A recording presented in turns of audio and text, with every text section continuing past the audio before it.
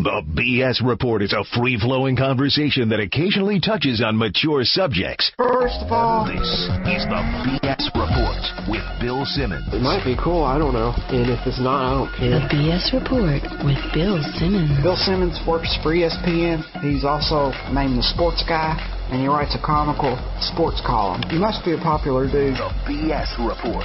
It's got a real dirty sound, like a rusty steak knife cutting through a well-aged steak. Now, now, Here's Bill Simmons. Welcome to BS Report, part two of the Super Bowl Thursday pod. We do not have him on the Subway Fresh Tech Hotline. He's in studio. ESPN's Trent Dilfer. What's happening? Hey, good to be here. I forgot to uh, mention that Joe House is here as well, my buddy, Hello. my permanent co-host for two days. For two days. Yeah. It's perfect. Um, yeah. So we were talking about in part one. We were talking about guys going out Mm-hmm. on Super Bowl week, and like Roethlisberger went out last night and went to a piano bar, and everybody's like, "Oh, Tuesday night, right? Tuesday night, yeah, Yeah. whatever. Um, you were in the Super Bowl. Mm-hmm. You played for the Ravens. You won a Super Bowl. Yep. What is it a big deal that guys go out and let off some steam? It can't be a big deal, right? Not a big deal. And it's it's what night, you know. It, it, the story's borderline ridiculous that that people made such a big deal of Ben going out with his offensive lineman. I mean, I'm sure you guys talked about. It. First of all, it's what they do all year long. yeah. Um, it's a great team bonding, leadership, whatever you want to call it, thing for Ben and the, and those bigs to do. Um, he flips the bill, which gets them excited. Uh, and I think the biggest thing with this week, and I've heard some analysts talk about it, but I think it's probably the most important thing when you're dealing with this week is stay true to who you are. Stay in character. Don't try to be somebody you're not. Um, that's both how you handle the week and how you play on Sunday. Does that go for barbecue too?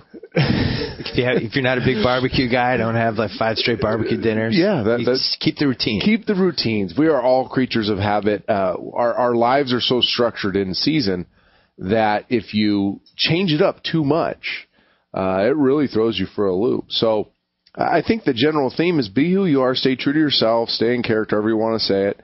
Um, and if your Tuesday night routine is going and having some cocktails or doing whatever you do, then do it. You know, some guys it's Friday nights now. There may we, Saturday we may be doing TV and we hear about some guys going out and having a couple beers or whatnot, and people are going to make a big deal out of it. But the the fact of the matter is, in the regular season, that's what you do. I'd go out with my wife. We had date night, and I had no problem. We'd share a bottle of wine on date night on a Friday night. Um, that's just what you do. You stick to those routines. Did that when you were playing? Yeah. You drunk? I know. Can you believe that? Doing? I'm not even a drinker, but Terrible. but you know that I, I just I, I laugh at the whole thing. Yeah. The issue is I think it's a bigger deal. Let me tell you what a bigger deal is. If you see a guy at media day that's usually reserved and calm and poised, and he's trying to put on a show, he's trying to be somebody he's Oh. not. I look at that guy and go, that guy will not play good on Sunday. And every year you kind of find a couple. Now this year I didn't. One reason I was flying in on Tuesday, so I didn't see a lot of media day. But every year you see a guy and you go, I bet you he plays poorly on Sunday because he's trying to be something he's not. He's using this as a platform to kind of announce himself to the world, and that's a bad sign. and that's something that I, I, I've kind of avoided the hype for the most part. But the team that's been there before versus the team that hasn't been there. I mean, Pittsburgh's literally been here twice. Say they are the classic. We've been here before. Team. Yeah, third third time in six years, right? Yeah. And I think that's being overblown a little bit. In fact, Yeah, I, overblown. not to be a contrarian, Okay. I think it actually can hurt them, and here's why. So you've heard people talk about. Oh yeah, Okay, this I has haven't. been the big thing. The Steelers have. I think I saw twenty six guys. That number might be a little off. That were on la- the last Super Bowl team, and the Packers have two Hmm. that have Super Bowl experience. Um, I, I think a couple things, and now I'm going off my limited one Super Bowl experience, but I did talk to a lot of guys going into the Super Bowl, and I've talked to a lot of guys since that have played multiple Super Bowls. And the one common theme is that the guys that play best, the teams that play best, account for every minute of every day getting ready for this game. Yeah. And there is such a razor sharp focus uh, and such an attention to being aware of your surroundings. Okay, I got to be very careful on Thursday, right? What I do Thursday of Super Bowl week, that my preparation is the same, that I go to dinner with the right people, that I don't have dead time. Am I going to rent a movie in my room? Am I going to, you know, am I going to play ping pong with the guys in the hotel lobby? What am I going to do? And you're you're you're hyper paranoid about making sure you handle every situation right so that Sunday you are emotionally, physically, uh, and mentally primed for that game. That's what the Packers are doing, and that's what the Steelers probably did the first time, and they probably did it the second time as well. Oh, I But like now, where you're going now is it old hat? Not, uh, honestly, I mean, there's guys, 26 of those guys that eh, we've been there, done that. We know how to handle Thursday. We know how to handle Friday. We know what practice is going to be like. We know the dangers out there. So, are you as sharp? Are you as focused? Are you as paranoid to make sure you do everything right? And I think the key to me every every year, the team that I always think is the best is the team that has the the, the sharpest edge, the hardest edge to them. And I see that at the Packers. I sat with Aaron Rodgers yesterday for uh, an hour and a half, basically, and talked and did, did an interview with them. And you can tell this team has an edge to it. I mean, they got a hard edge to them. We'll see with the Steelers. I, I'm I'm scared that for them that this might be old hat to a certain degree. So you're saying it's almost like dating somebody that you start like first Yeah, date, I first like date, that. You're I've trying to impress them. You're, you're thinking it through. I'm going to do this. I got to. I want to. But by the third date, you're like, hey, let's go to the movies.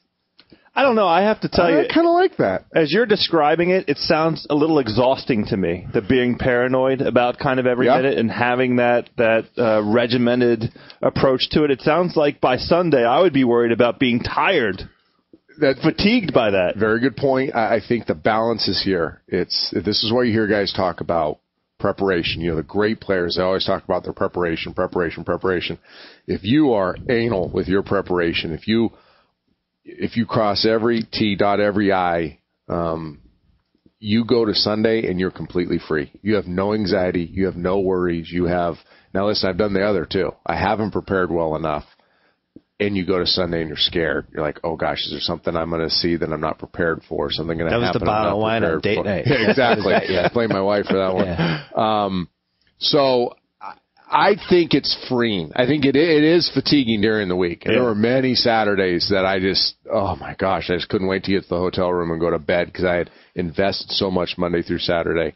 I remember being that way super the night before the Super Bowl that I people said "Do you have a problem sleeping. I said no, I had prepared so hard and done so many mental gymnastics. I remember at seven. I can remember looking at my alarm clock and it being I think eight thirty, eight thirty something, and going, "Gosh, I wish I could just go to bed right now." Oh. And I was so done. So you you're know? saying Pittsburgh might be more likely to have the two wide receivers want to play like the Tex want to play some Madden? Ah, we shouldn't. It's been that. I like Come that. on, man. I, I- yes, I Then do think up that's till a five in the danger. morning because they've been there. Yes, I'm not saying it's going to happen. I'm saying there's a danger of that happening. Well, now, when was your Super Bowl? It was a one weeker, right? Or No, we had two. two-weeker? Oh, we had two. two. Thank God. I don't know how these guys do it with one week. The, the, this when guys only get a week to prepare for this, I don't know how they do it because the first week you get all the details out. of You know, all the Yeah. tickets and hotel room and who's going and phone calls and you know returning phone calls, whatnot. So you people talk about that. It really is a massive logistical undertaking for Oh. each guy, right? You got to worry. You have to worry about your family, or at least Oh, your yeah. wife. I you, we were about everybody. I mean, we have You have tickets. How many tickets you get? every team's different. I think we got 14, if I remember correctly. How many people asked you for tickets? We ended up using those 14 and buying another 20. Wow. um, and then flying out. I, I'll I'll say this: is it, I lost money on the Super Bowl. You did? Yes, I lost money not just on the Super Bowl, on the whole, all the playoff checks adding up plus the Super Bowl check. That's how much money we spent on getting relatives and friends and just just getting them taken care of. You know who won money in that Super Bowl? You did. The Ravens. That was one of my favorites. I can't believe the field for I Brandon could Stokley, first touchdown? We were Oh. only one point favorites going to that game. I just saw that recently that we were a one point favorites. I, You know, in it- our minds, we were thirty point favorites. You guys were great that year. The Yeah. defense was Well, that's why. ridiculous. You know what it was actually? It was because the Giants looked so good the, the Yeah. in the NFC title game. That Right. threw everybody off. Yeah. But yeah, you weren't gonna. That team wasn't gonna lose. What was Ray Lewis like It was awesome. on the day of? Oh, the day. You know, was the funny, like? Is it were his eyes like bright red, like Well- Terminator or something? we were very reserved that morning. I remember meetings that morning, very reserved. Um, there wasn't a lot of, you know, guys not tapping their foot or anxious. Uh, to the point where I remember on the bus ride over thinking to myself, are we emotional? Because we were an emotional team. Yeah. uh, are we emotionally ready? and it was it was this guy started putting on their socks and putting their pads and their football pants and you know get you could start seeing it build emotionally you could see it in everybody's eyes you know the, the chat around the locker room got a little bit different and you could mm. kind of seen it build to this climax that it was when we got out on the football field. So that team was unique. Now they had we had a lot of guys that just kind of knew how to handle themselves. They Did you feel like w- uh, I have no doubt we're going to win this game? Yeah, no doubt. I, and I try not to say it publicly too often because you feel like you're being disrespectful to the Giants. You just knew your team was that good. We were playing ping pong on Saturday night, and it was a joke. You know, we were joking around um, by how much we would win this game by. And it's uh, you're kind of in a weird spot because when people talked about the Ravens, they always pointed at you as like, well, he's the guy. If, if he has a bad game, Yeah. if he uh, if he I could have thrown four interceptions. We would have won that game. Yeah, I mean, that that's go ahead, carry throw five. I just had to throw one less. That's mean, but you know my job, and I have no pride. When people say manage the game, I, I take it as a compliment. you were the first manage the game. I guy. was. It I mean, that was like started the, with the- me. You were the, yeah. I, I tried to trademark Pioneer. Tried to trademark it, by the way. You did? Yeah, that whole thing didn't work. But yeah, I wanted to trademark it, and anytime anybody said something, I got paid for it. Didn't work. Then it was uh, Brad Johnson a couple years Yeah. Later, and who else was a manage the game? Well, I think Brady the when, first when. Rex Grossman played in it, it was uh, if he can just manage the game, if he could just play Dilfer-esque, they they could win the game. Yeah. I, you know the thing is with that is that that's fine, and that's to me that's not a slap in the face. I'd always have rather been the guy that didn't lose it, you know, than the reason we won. Right. That was the reason we won plenty of times in college and in Tampa and all. You know, I had kind of done that. Um, I just wanted to win, and I knew that that that formula was just don't don't be the reason we lose. so what do you remember? Like, so now it's been eleven years. No, ten years. Ten years. So, you know, I can't remember what I did a week ago. What do you remember about that game now? Is it just a blur? I don't have a lot of vivid memories. Um, a couple stories I tell that people like. Well, one is I talked about the emotional buildup. I handled that. I was so concerned going back to Tampa, where I just played six years, and what the visual stimulation would be when I got on the football field. I was very worried that I would get on that football field, Raymond James, and would it be an interception that I threw against the Green Bay Packers? hit Oh, because you played there. I played I'm there for so yeah. long. Ooh. You know what Going was back to your old house. Exactly. What was going to happen mentally? So I had hmm. spent the whole week in my room. TV never went on. My TV never went on one time in my hotel room in Tampa. Spent a lot of time visualizing. Uh, I read. I'm not a big reader, but I read a lot of stuff. I made sure I stayed busy with my teammates. Um, but I prepared myself to go on that football field and make sure I controlled my thoughts. Think the right thoughts. Think the right thoughts. Think the right thoughts. Well, when I went out there, there was nothing. I had no emotion. I had no no flashbacks. Saw my family, waved at them, saw some familiar faces, had a really good warm up, um, but kind of just went you know went through the motions. Had no juice to me. Yeah. First couple series, I played terrible. I missed Jamal Lewis on a, a little swing route. Stokley on third down was open. that. I was- missed him. Yeah, I was mad. I think I threw one. Yeah, I threw one out of bounds on a on a deep ball, and uh, Sam Gash comes out to me uh, probably before the third or fourth, probably third series. Former Patriot. One of the great teammates of all time. Grabs me underneath my breastplate of my shoulder pads. This TV timeout. And starts kind of shaking me and looks me dead in the eyes and says, "We need your juice. We thrive on your energy. We thrive on your emotion. Let's go." and it was like a switch went off and the hair on my arms came up. I recognized that's right. I'm in the Super Bowl. Let's do this. And I remember he says Ah. I jumped into the huddle and they all said, "Okay, he's back." You know, and then the, the stay true to yourself. I, I wasn't. I had done the opposite. I tried so hard to make sure I didn't have these negative flashbacks emotionally that I just brought myself down too much, and I needed to be snapped back into it. And once I think that's the series I hit Stokley on the touchdown pass, and and that really got me going for the rest of the game. I think it got the guys on offense going too, because now they were they're like, okay, he's fine. And if you hadn't, if that hadn't worked, then Ray Lewis was going to be the. Somebody, yeah, somebody was going to eventually get my It's attention. like the scene in Airplane when Yeah. everybody's waiting in line and the guy's got a baseball bat. Um, you mentioned uh, Sam Gash as a great teammate. seemed like that. That was a pretty unique team of characters. yes. I know we like to say that, like, oh, what a team. That team really was like, because at Hard Knocks a couple years later, most of the guys were left, not all of them. But what's interesting to me, because I think Ray Lewis is going to be great on TV. Oh, yeah. I don't know if anybody's forwarded that theory, but I think when he's retired and he decides to do TV, he's going to be the guy of, of the next generation. Yes, he'll be very But then you have Brian Billick, who I feel like is is totally underrated as a color guy. I love I love when Brian Billick's on. Siragusa, I learned so much. Siragusa will skip over, but, But but a total character. total character. But why did that? I mean, that had to have been the record for most media guys from one team. right? Rod Woodson. Oh, Shannon, what's that? Shannon Sharpe. Shannon Sharpe, right? Yeah, Six. Right. Yeah, Unbelievable. CBS, couple at Fox. That must have been a Um, happy uh, beat writer that year for your team. Yeah. For the Baltimore Sun or whatever paper. very smart football guys, charismatic, Yeah. um, bold.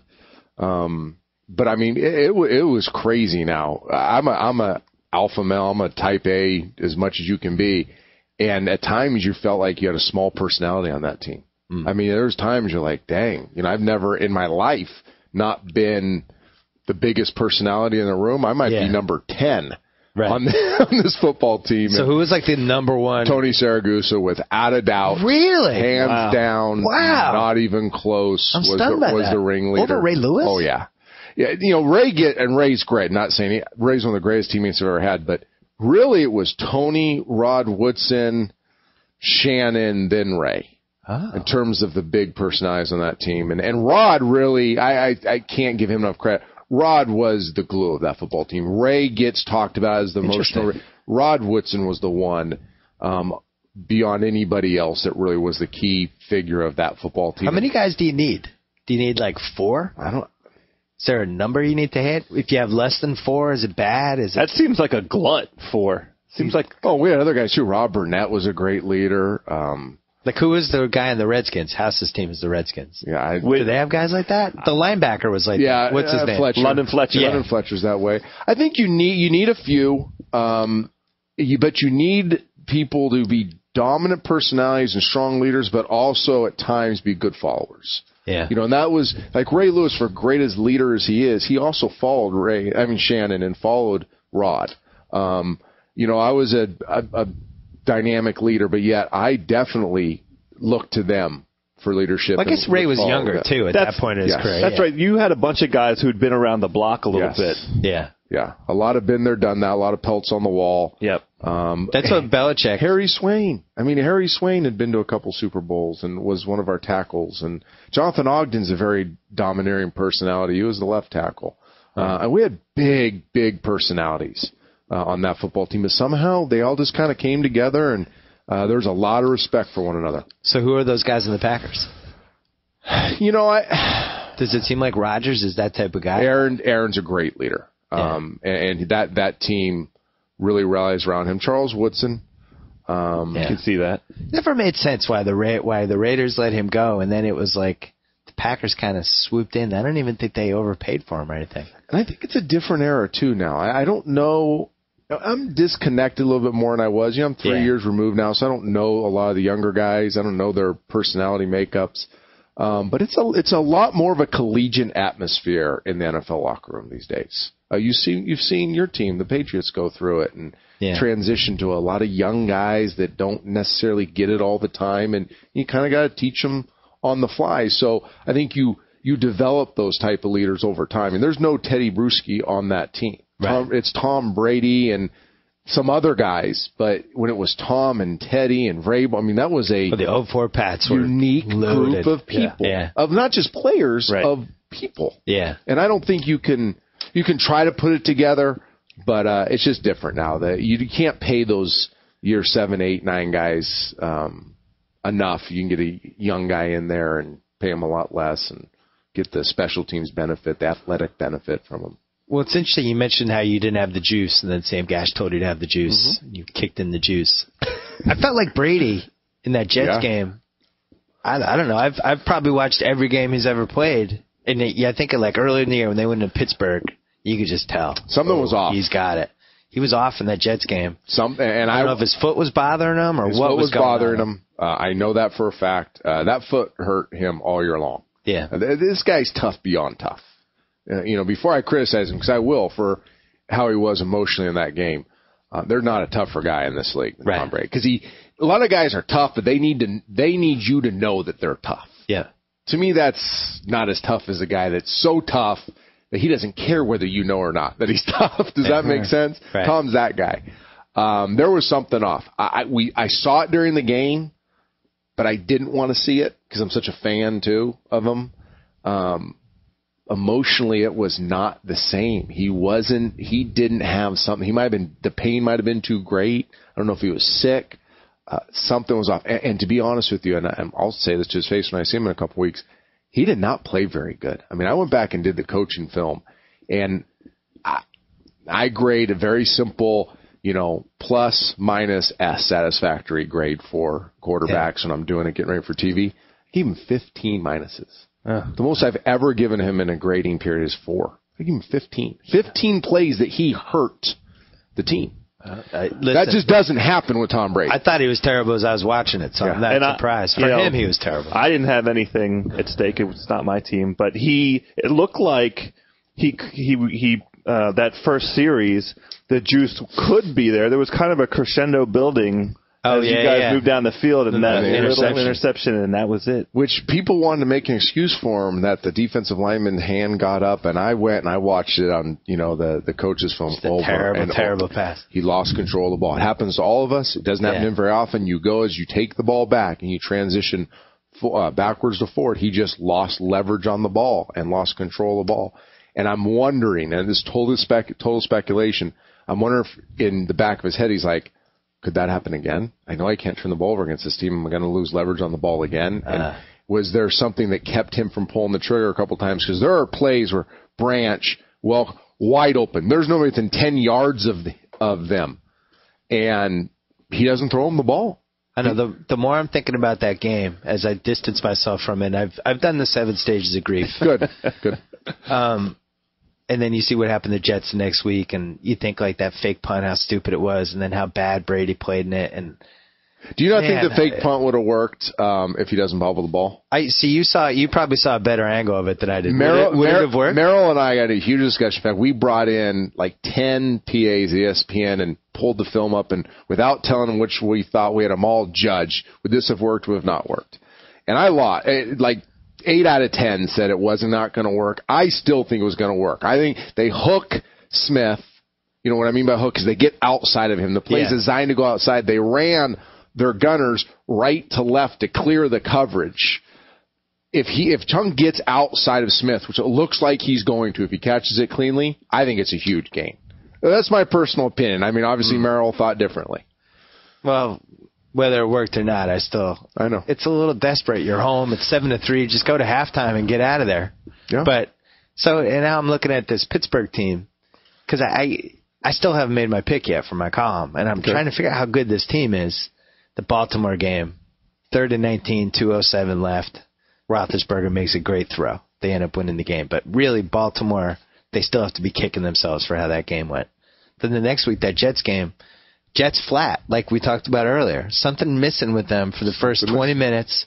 It starts to come back. If that game goes five quarters, I know it's stupid to say. I think the Jets win that game. It just felt like they were gaining steam and the Steelers were going the other way.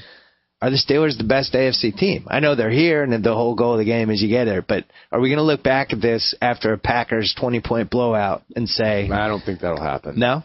I I don't think that'll happen. Uh, I think these two teams are very evenly matched.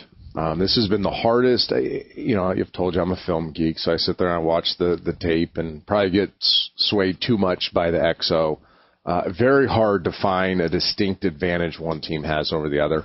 Yeah. Um, two very good teams. Are they the best? I, I think when you talk about the best teams, it goes beyond players and schemes. I mean, a lot of the, the makeup of the personalities of the team, the chemistry they have. I, always say this, you and you do the, you know, you track every champion. Every champion in sport, when they get up on the podium afterwards and they're asked that question, they never talk about we had better players, we had better scheme. They never say it. They always say we had the best chemistry. We loved one another. We trusted one another. Right. They always talk in those terms. Every champion, basketball, baseball, uh, whatever it is, football.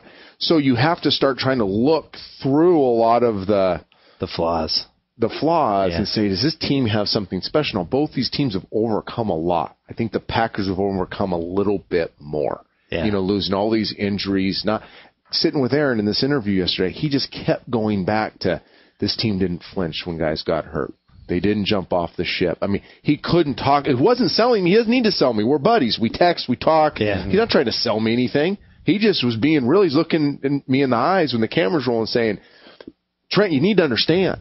Th- there's something really, really special about this team. I've never seen anything like it. That speaks volumes to me. That's more than the tape to me. Yeah, it presents itself to me uh, like trust. Trust is the word that, that jumps to mind when I see that Yeah. and hear you describe it. And you Well, know. I was wondering if maybe the Packers should have been a 15 win team and things got screwed up and they ended up winning 11. But maybe they were the juggernaut. And then you look at the flip side with the Patriots who were 14 and 2. They came on late. Maybe they shouldn't have been the juggernaut. Maybe we just, for whatever reason, the season shook out a certain way. yeah, the and now Packers order has injuries. been restored. 'Cause the Patriots were, you know, all pa- all Pats fans secretly were like, our defense at some point, this is going to be bad, and you know, we all these little quick passes, you can have the game where a couple get tipped, and That's what I kept saying. Yeah, We it was never an explosive team, and they could never get quick drives and quick points, things like that. You watch this Packers team, and I I don't know if you agree with me, but I, I just think they're a dome team that happens to play in Wisconsin. And they're going to be awesome in this Dallas thing. I'm leaning toward Green Bay. I I like. I, I I agree with you. I do. I, I got a little tired hearing how much they're built for turf when I also saw them play old school, dirty, grinded out, Sure. tough nosed football in bad weather. You, they're way better indoors offensively, but they they're substantive enough to also win those ugly mutter games. I, I feel like they are now what folks thought they could be at the beginning of the season. I mean, They were who right they there. the Dennis Green. That's exactly They are right. who we thought they were, or something. I thought like that in that Falcons game, I thought they looked a little nine to nine Rams ish. Oh yeah, they look freaky. Reminded me of like that, just the the guy, the quick slants, and the guy's already running hundred miles an hour. I was Yeah, like, and the, the speed. and uh, you know, halfway through the second quarter, I'm thinking, I can't believe it took Atlanta. Like this is going to be a blowout. not only do they play fast, they make the other team play slow. And I think that's something that fans need to understand is that when you're really good offensively, not only do you play fast, and it's just it's instinctive, it's boom, boom, boom, boom. The other team is on their heels and they don't play fast. So you're playing super fast and they're playing with a cluttered mind and thinking and kind of on their heels. That's what the 99 Rams did. That's what Yeah. the Saints did at times last year. That's what this team does. I mean, it is in, out, and off. They get in the huddle, they get out of the huddle, and they get off the ball. And you just see these defenses kind of, hey, the first half of the Bears game was a clinic offensively. They were awesome offensively the first half of the Bears. And so should have closed and he threw one bad pass. Exactly. Should have closed. Should have. But I mean, they were. They had. The, they had the Bears spinning. There's on the coaches tape. You can see Urlacher and Briggs just like looking at each other like, what, what was that? What's going on? And they made those two, who are very good players, look silly in the first half of that game. Well, here's my big question for you, Trent Dilfer, quarterback expert. I like when you say my last name. I know. um, you think about Brady and Manning and how they lost and what those defenses did to them. You think about what Rodgers can do and Roethlisberger can do, and how these guys can create mm-hmm. four or five plays that shouldn't have happened mm-hmm. by moving around, doing things that I think the old school guys. I would throw Kurt Warner in this group. The days of the quick release, super smart guy. It doesn't seem like that's totally enough anymore. It also seems like you need to make a couple plays. Do you feel like that's where this game is headed? Josh Freeman, people like that, like just that's the next generation of quarterbacks. You won't see a Brady Manning type. The guy's going to be have have to be able to move around. Well, one, there's just better athletes playing quarterback. So I do all the college. I just finished last week doing all the college evals for all these um, players, and just athletically in general, it's so, so much more of an athletic position. I mean, Bla this Blaine Gabbert, who's 6'5", 240, Yeah. he's going to run sub four six in his pro day. Really? He's running four five four. God. He, uh, eh, they're just freaks. The, all these guys are, are freaky. So yes, the positions become more athletic, but but please understand this, and this will never, ever, ever, ever change in the NFL. It's changed in college. It's only good if you can play the quick release, digest information game Right. also. It, that's the starting point. So they have to learn how to play the position true to the position. That is, drop back, read defense, deliver the ball on time.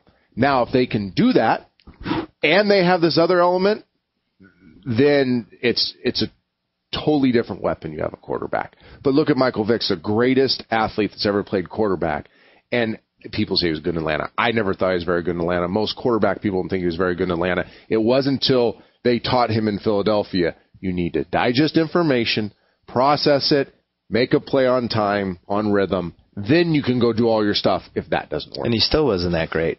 He, he was pretty. He was pretty darn good this year. But what do you mean he wasn't that great? What are you talking about? He- the, Wa- the Washington Monday night game threw the whole thing out of whack. It, it, um, a lot of us started drinking the Kool Aid a little bit too much after that, but I did see him do some things that were pretty darn amazing. All right. Well, I watched him lose a playoff game and score 16 points. Yes, that's true. No, I just worry as a Patriot fan, and I think Colts fans should be worried too. Is you know you watch the way the defenses play these these guys, and they're basically begging Brady to run. We're Yes. going to give you this, take it, and he won't do it. I think and Manning won't either. But that's not really uh, as much a function of, of the type of players Brady and Manning are, as they've both been in the league for ten or twelve. They're just older? Well, the the teams can can uh, know their strengths and weaknesses now. But it just seems like if you're. Rodgers, you have the advantage of that team has to be worried that you might take off or tuck it or do whatever. Isn't that like it's like this extra wrinkle? It is. had to deal with. You think it's overrated? No, I don't think it's overrated. To be able to extend a play is um, it's the hardest thing to defend. A, a quarterback that ex- can extend the play, um, but not necessarily run. It really Yeah. doesn't scare these defensive coordinators and these coaches that much if you can run, because they know okay maybe they'll scramble for a couple third downs, but you, touchdowns come out of the passing game. You know, they come out of explosive plays in the passing game. They come because you march the ball at the passing game. I can go through all the play by plays of every touchdown drive this year. I have Joey do this for me often. Almost all the time, the scoring drives where they score touchdowns, every team throws it more than they run it on those drives. Yeah. Now they might run it in the end zone. They might have some signature runs on those drives, but you throw the ball to get the majority of the yards that end up in touchdown drives. This is his head coaching. Res- he's when he, Well, head coach. so that's not going to change. Throw. So Tom Brady, Peyton Manning, the issue there is what teams now have started to do is they know neither of those teams play great defense either. Yeah. So they just they bend but don't break. They give them the easy completion. They give them the easy completion, but they're going to eliminate a drive or two that Tom and Peyton get when they get the ball. Yeah. Uh-huh. You know, so you take really two possessions away from Tom Brady, take two possessions away from Peyton Manning. That's how they've learned to beat him. What you can't do is give up the big play over the top. Give them a short possession, then put them back on the field and let them do it again. So that, that's really what teams are doing, those two guys. But both those guys will come out next year and have great years. Oh yeah. Well, I'm hoping that maybe this will maybe get a different receiver, Brady. We're talking Patriots again. Yeah, sorry. Oh, we do. I haven't gotten over the Jets loss. I, I'm a fan. I had a Redskins I'm a totally a fan of the Chad Ochocinco to New England thing. Oh, my if, God. If, if you're pushing it, Ask your Redskins question. you don't like that. He's really good now. What, He's, he is really good. what are you talking about? He is a very good player, and he he would he would add a dynamic element to that team, and he'd be fine He personality would definitely be a dynamic element. I feel like after the Moss thing, I'm kind of all set. Diff- all but set on different the, kind uh, of personalities. You think he's a uh, he's not one of those look at me guys though? No, he's a look at And this me is a guy who, But who so was Corey Dillon, he wasn't he? showed up on Basketball Wives this week. I'm like, really? You're, you already have your own VH1 show. Now you're on this show. Sorry, Trent. I No, fast. I- I- ask your Redskins question. You uh, saw a bunch of college quarterbacks, Yeah. and I have a team in Washington that's probably Yes. in, in the market for a college quarterback. Yes. Who'd, Yes. you, who'd you like? This Blaine Gabbert special. Yeah. He's a unique uh, Giving him thrower. a special. Yeah, he, well, I should say this. Please, I look at these guys as prospects, not players. Yeah. So I'm not talking about them as players. I'm talking about prospects. How, if developed right, if given the right situations, how high are their ceilings? Yeah. That's the easiest way. Blaine Gabbert's ceiling is remarkably high. I mean, he's as gifted as a thrower as I've seen since Drew Bledsoe coming out. Wow. Uh, Sam Bradford was good last year, pretty darn good. It's not even close in terms of throwing ability between Sam Bradford last year and Blaine Gabbert this year. This guy is uniquely gifted. Mm. Andrew Luck? He's not coming. Andrew Luck, I- I understand, he, but- he's going to be. he loves Andrew. he- I know. that, Trent that's talked a, about that's a whole other story. That's a whole Yeah. other story. He, he, don't not get quite. Then, with Andrew Luck, you actually can talk player. You don't have to talk prospect. You Oh. can say just as a player, Yeah. he is phenomenal. But that, that's next year's conversation. All right. Is the there- guy that I really love, the the hidden jewel in this is Andy Dalton. Um, Locker talented. Newton, I don't know. I'm going to go to this media workout next week because I need to see it in person. Um, the film is very hard to evaluate because the type of offense he played in. Um, uh, Greg McElroy is going to be a very good pro, but this Andy Dalton has a very high ceiling, and people aren't talking about it. But he does some things instinctively, uh, talent wise, his personality fits where you could be. Ta- Andy Dalton could be the Aaron Rodgers in this draft. I'll He's a guy thing. that has a lot of just the same kind of stuff. He's he's built emotionally the same way, he's built mentally the same way, and physically he's gifted the same way. I'll tell you one thing. That's a strong name. Great You know quarterback I love name. my names. Great Andy quarterback Dalton. name. Andy Dalton's a nice name. and the that red, could be the like red hair kind of action star. separates him. Sounds like a What leader. does he have? The red hair, flaming red hair. He can like uh like bright. No, but it's I don't know good. about It's the like, red hair. It like separates him. Has there been a, a good red hair quarterback? I don't know. That's I don't know. Could always, he could shave his head and do the Trent Dilfer. Only so many of us. Only so many of us can pull this off. How often do you shave that thing? Three times a week, Yeah. probably. Yeah. Do you just wear makeup permanently now because Yeah. you're on TV 24 seven? Yeah. Do you take it off? No, sleep in it, wake up, just powder my face. Does Joey just it. spray paint you with the makeup? the, the makeup people say they have. Come out of the shower naked like this, Yeah. and he just spray paints me. you, and then you put a suit on. The makeup people joke they have to order extra buckets of makeup when I'm working because they got to do the whole head. How many hours of football talk are you doing this week? Oh man, including radio. Yeah. Like Ah. 20? Oh, easy. Four a day? When it's all said and done, yeah. Because Sunday I'll do Sunday alone. Four hour countdown, and then I do. I, I'm the guy that has to do four I have, hour I have to do the fill. So when the game ends and you turn to Sports Center, it's me and the Bristol anchors, and we do like an hour of fill before then the late Sports Center that I'm on with Levy and Wingo and Cris Carter and uh, Keyshawn. What I don't understand is how for- you guys for- don't goes for screw up. minutes. But how don't you guys screw up in those and like either say an f bomb accidentally That's- or that's say sca- something yes. offensive? like in this culture we live in, I where don't know. You got bloggers just dying and Don't put it in my a don't put it in my head. Oh, no, I didn't- what I I always. I am always paranoid. Joey will tell you this. I'm not worried about what I'm going to say makes sense because I study and Yeah. you might agree with me, not might not agree with me. I'm paranoid about saying the wrong. I don't have a very good vocabulary to start with. Get a little punchy. Exactly. It's You're late at night. Irritable. You- you flew a so red afraid, eye. Yeah, so afraid of saying Coffee's the wrong not kicking thing. in. You had a bad cup of coffee. Yep. That is the, say- that's the ultimate fear. Well, I will stick up for you if that Thank ever you. happens. Trent Dilfer, what, what was your Super Bowl pick, by the way? Packers 23-20. You went under. The under's 44 and a half. I purposely I think went it's under. high scoring. 34 to 28, Really? something like that. But I don't know who's going to win it. They're the two best point defenses in the league. I just like them. You just think that's a 16 week aberration? Big TV, big TV, fast field. I think there's going to be a lot of energy in the building. I think just I think guys flinging it. I I think feeling it. everybody's talking about what quarterback plays best. I think it's the quarterback that doesn't make the mistakes. I think Oh. this will come down. I think there will be some sloppy play in this game. The defenses will force it, but I think there'll be some sloppy offensive play. And I think the quarterback that is protects the ball the most. We're talking fumbles, you know, interceptions, just doesn't give the other team anything. Do you like the team Ag- wins. Aguilera over or under for 154? National anthem. National Oh, anthem. was that the over under? Yeah. Over. Brave, six seconds. Will she hold Brave Yeah, for more than six seconds? Right. I think that's the right number, actually. Oh, you think a push? Yeah. Gatorade color? Any opinion? No. Uh. uh Nothing. Nothing. Yellow, clear, Clear. coin flip, Heads. heads. There's been a lot of action on tails this week. Really. 55% of the action's on tails. Really? I always go ahead. Trent Dilfer, we will see you on 45,000 Yes, other will. ESPN mediums. Thanks for coming to the BS report. It's People a love the last man. one, so Love it's it. fun. Let's do it again. All right. That's great. All right. We will see you tomorrow. We'll be taping from uh, the Addy House in Dallas, I guess. And we don't have a guest yet. I got to find one. Maybe tonight at a party we'll grab one. Anyway, Trent Dilfer, thank you. So I get to sign off. Whoa, Thank you for downloading the BS Report with Bill Simmons. too much fun. Check out more podcasts at the iTunes Music Store or at Podcenter at ESPNRadio.com. Peace out.